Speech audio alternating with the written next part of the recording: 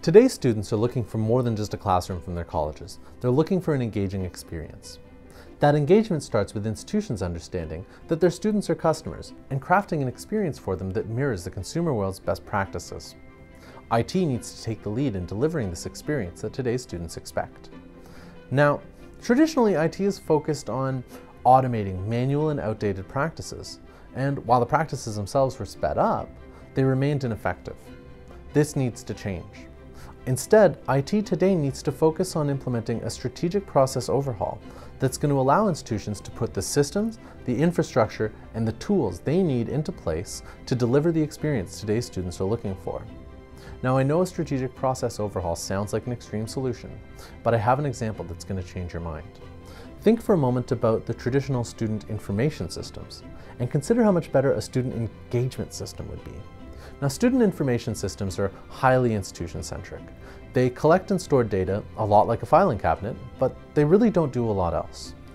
A student engagement system is student-centric. It allows institutions to deliver the customized and personalized experience that today's students are looking for, while also providing them access to information on demand. Now, a student engagement system will also collect and store data, but it goes beyond that.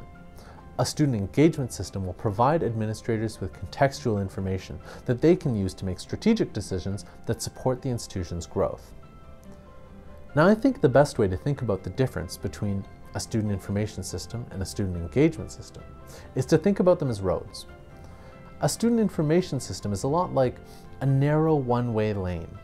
Information only travels in one direction, from the student to the institution. That information can only be used by a limited number of users, and it can only be used for a limited number of outcomes. A student engagement system is like a bustling avenue that cuts through the center of town. It allows information to travel in both directions quickly and easily. That information can be used by a wide range of users for a wide range of outcomes.